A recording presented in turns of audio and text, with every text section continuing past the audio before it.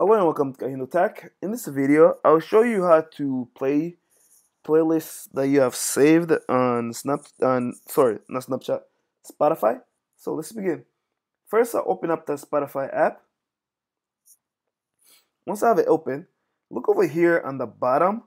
Sometimes you might be from on home, so that's the first uh, this icon. But where you want to be is is actually your library.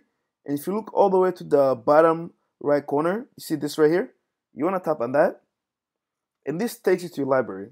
Once you're at your library, go to over here where it says playlist, tap on that, and this gives you all the playlists that you have saved into your phone. As you can see, I have some playlists such as uh, this this playlist was created by Spotify and usually says by Spotify if they create it and this is one that I created myself and it can be playlists from playlists that other people have created. So these are all like the playlist over here.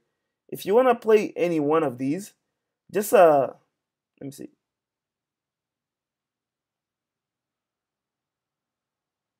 My phone is acting up a little bit. All right, uh, stop it. Find any one playlist. Uh, how about try unheard it? Now from here, you can either shuffle the playlist by pressing the shuffle button, and this just shuffles the playlist and plays them like that. Or you can choose a specific song by tapping on it,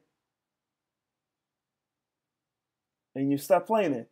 That's how you play uh, playlists that you have saved in your Spotify account.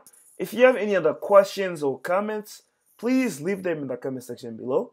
If you like the video, give it a thumbs up and definitely subscribe to my channel for more videos like this. Thank you for watching.